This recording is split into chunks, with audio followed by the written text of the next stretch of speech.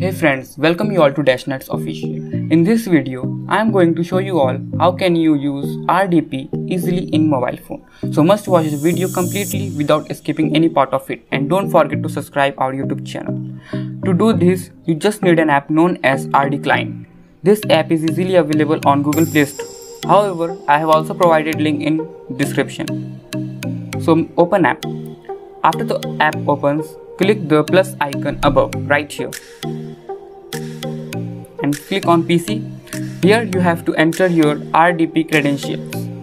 I have already created a video on how to create RDP for lifetime. If you haven't watched it, then what are you waiting for? Please go and watch it.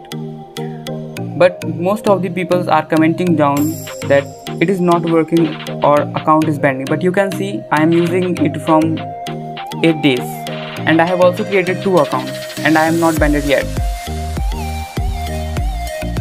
You can see your RDP credentials after clicking here. Connect to your RDP core 7GB RAM. Here you can see your all the details. You just have to copy that and paste it on your application and simply log into RDP.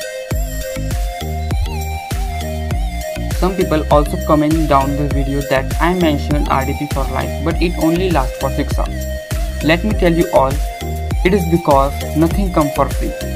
NGRock server provides user the highest time access to RDP in order to attract people while other only give maximum 2 hours to 3 hours including Google. However, you can create another RDP after 6 hours without any issue in NGRock.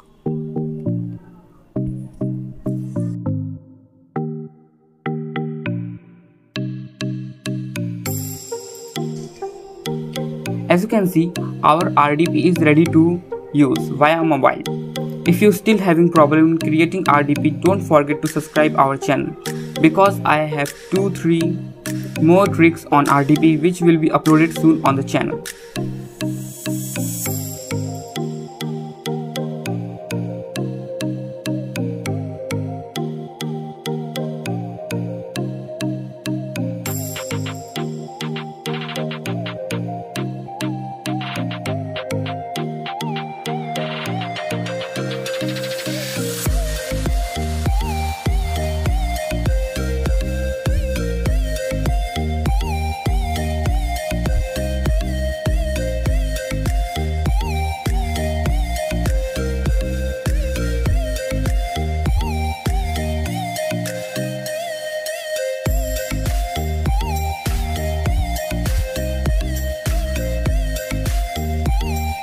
Here you can see the speed of the internet.